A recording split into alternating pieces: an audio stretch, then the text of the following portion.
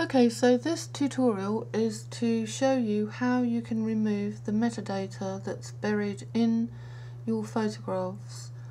Now, you may have various reasons for wanting to get rid of the metadata. Um, it's usually to do with privacy. Um, I'm going to show you the kind of data that I'm talking about. If you go into, this is in Photoshop, you may be able to do this in Photoshop Elements. I haven't tried, but I'm sure you can. You go into File, File Info, and a box will come up that shows you the various tabs um, that you can click on to see what kind of data is stored in your pictures.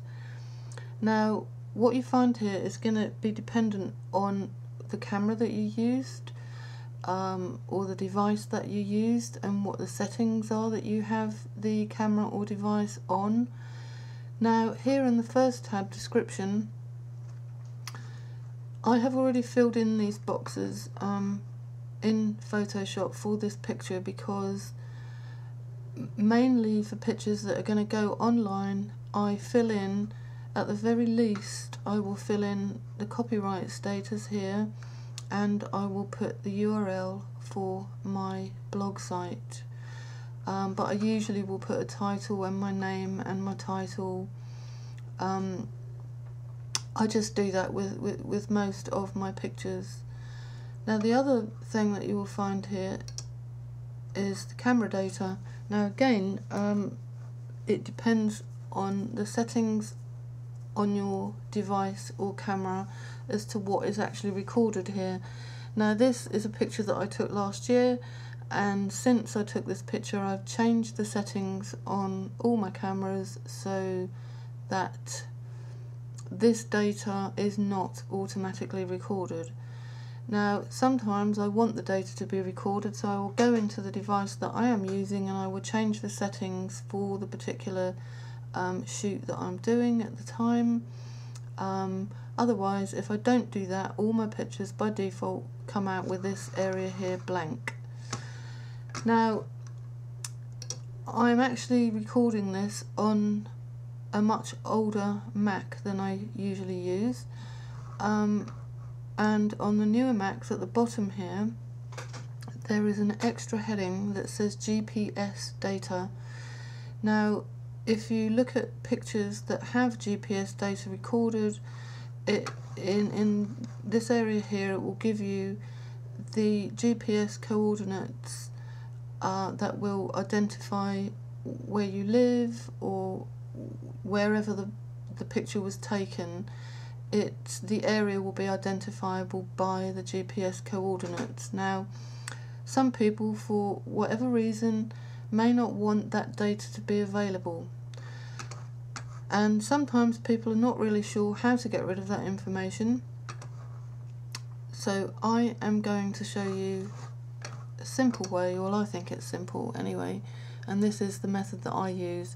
Okay, so you see here information that I manually put in myself and the camera data. Right, so how do we get rid of that? Well, the way I do it is I select all, then I go to Edit, Copy, then I go to File, New, and it will automatically bring up a new document that's the right size to accommodate the picture that you have just copied. So you click OK and you get the blank canvas. You then go into Edit, Paste, and it neatly pastes your image into the new file. Then I go into layer, flatten image. And if I go into file info now, you will see that the camera data has gone and the description that I had added is also gone and this is because it's a completely new document and as I said on the newer on newer Macs and cameras you would have GPS data at the bottom here and if you have got GPS data recorded in any of your images that will have disappeared also. Now because I like to have the um, description boxes filled in, I'm going to fill them in again.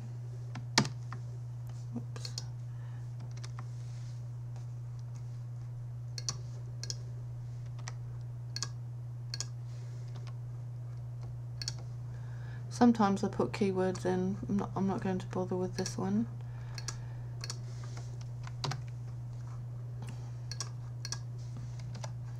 and I like to have my URL in there. Click OK.